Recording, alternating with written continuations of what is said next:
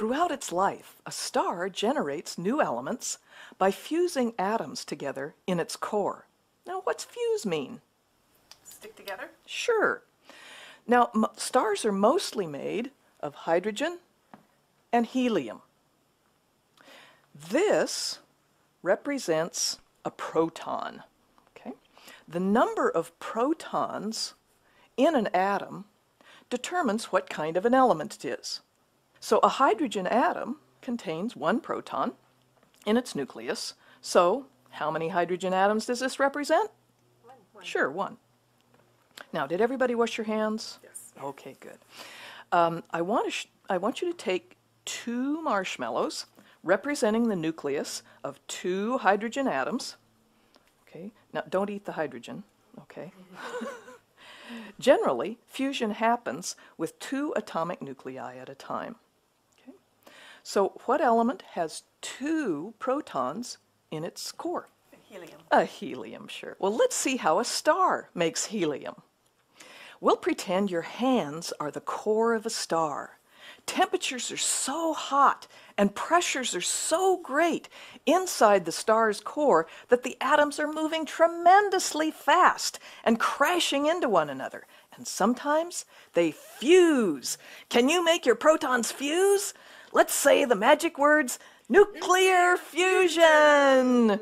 Okay, our two hydrogen atoms, very good, have fused to form Helium. very good.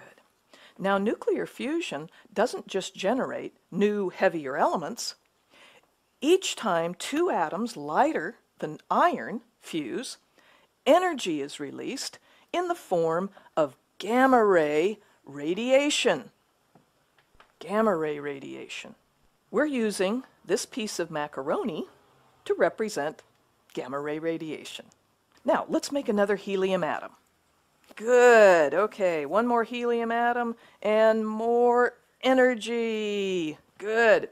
One more. Okay, now we have three helium atoms. How many protons are here altogether? Six. Six, sure.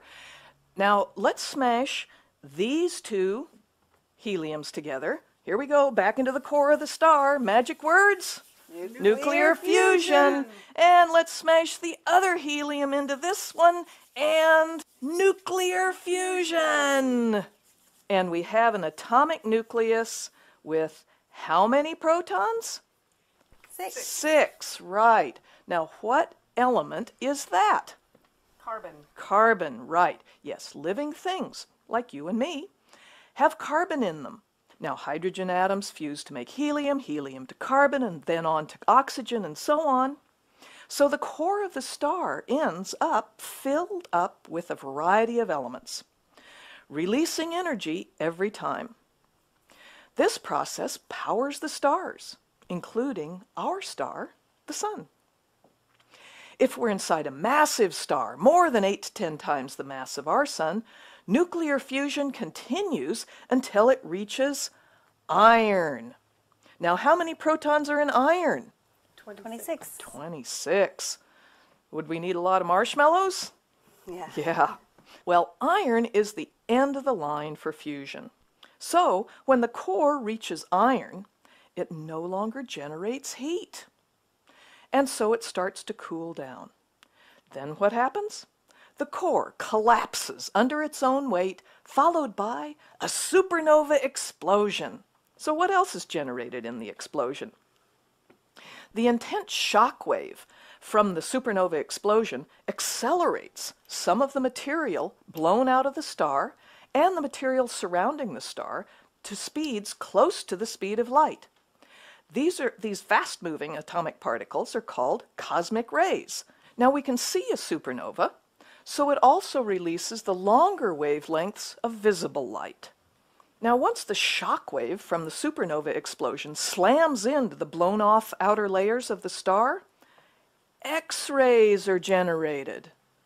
Now, that's how supernova generate cosmic radiation.